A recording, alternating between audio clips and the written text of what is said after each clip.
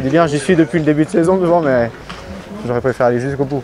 J'étais avec Paul, euh, on s'est dit on ne calcule pas, on va jusqu'au bout, on, verra dans le final si, ça peut jouer.